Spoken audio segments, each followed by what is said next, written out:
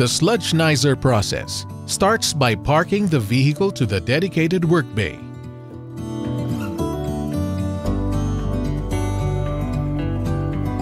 If a preventive maintenance record is available, check if a previous sludgenizer process was done already. Check for any vehicle concerns. Listen for any abnormal sounds. If white smoke is seen coming out from the exhaust, do not proceed.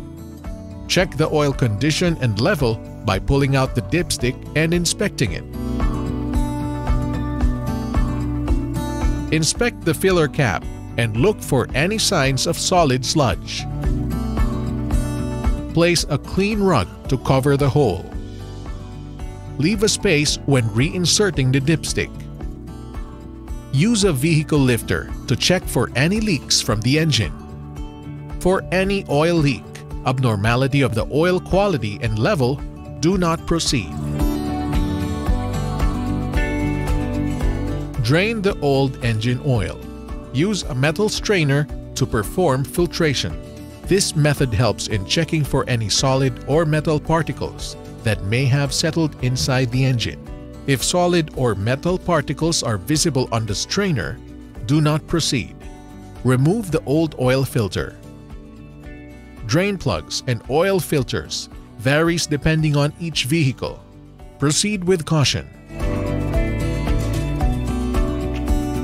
Prepare the proper fittings and adapters of the sludgenizer machine for the specific vehicle being serviced.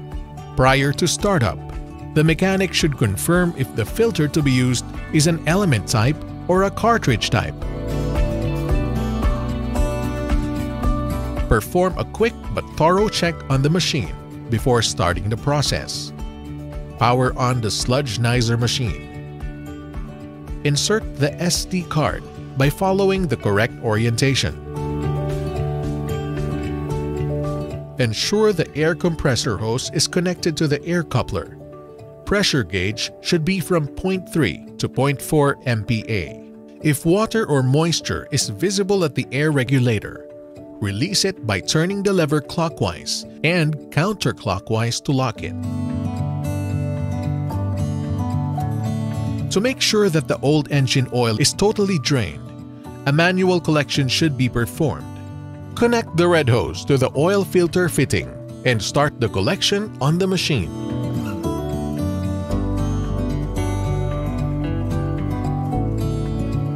Connect the blue hose to the drain plug fitting. Ensure all connections are properly installed and free from any obstructions. Depending on the oil capacity of the vehicle, choose between small medium, or large. Press Start. While the process is ongoing, a visual inspection is advised by looking at the sight glass on the machine. Once the process is done, the machine automatically stops.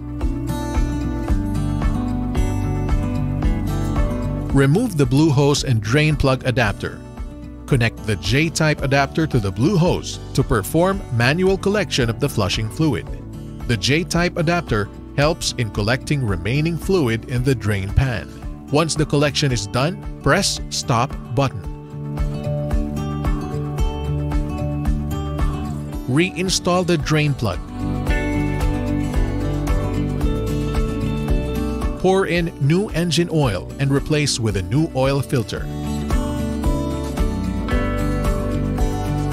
Check the oil level using the dipstick to ensure the correct oil level.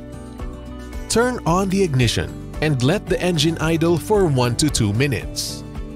Turn off the engine and recheck the oil level to ensure the correct oil level. Once again, turn on the ignition and do a final check. Step on the accelerator to reach 2000 RPM. Continue doing this for 1 to 2 minutes. The vehicle is now sludgenized and ready to roll out again.